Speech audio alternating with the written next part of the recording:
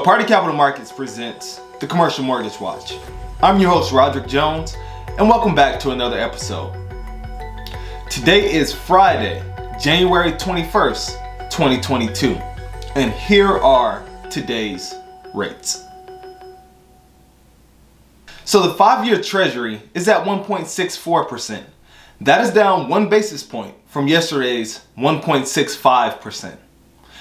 The seven-year treasury is at 1.70%.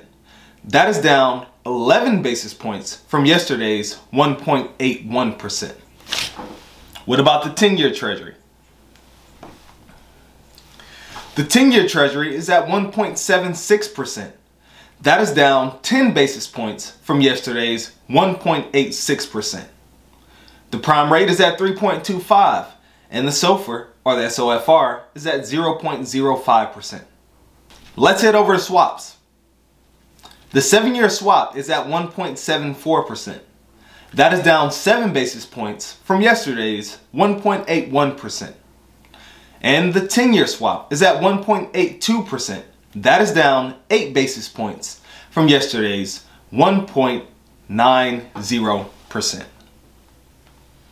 So as you can see, swap rates and treasury rates are down about 10 basis points today. So what does that mean for financing your commercial real estate deals? Let's find out.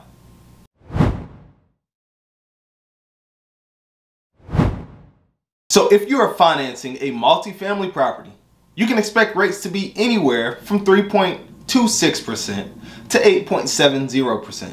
Now, of course, this depends on your exit strategy and the type of loan product you go with. What about hospitality? If you're financing hospitality deals today, you can expect rates to be anywhere from 3.36% to 9.70%. What about office? If you're financing office deals today, you can expect rates to be anywhere from 3.31% to 7.90%. And how about industrial? If you are financing industrial, you can expect rates to be anywhere from 3.27% to 7.70%.